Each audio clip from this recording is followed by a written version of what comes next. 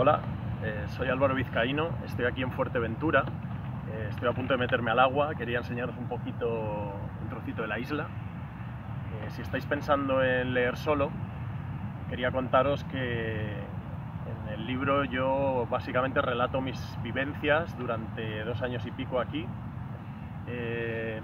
la vida me trajo hasta esta isla buscando propósito vital y libertad en ese camino encontré personajes eh, increíbles que vais a alucinar cuando entréis en contacto con ellos.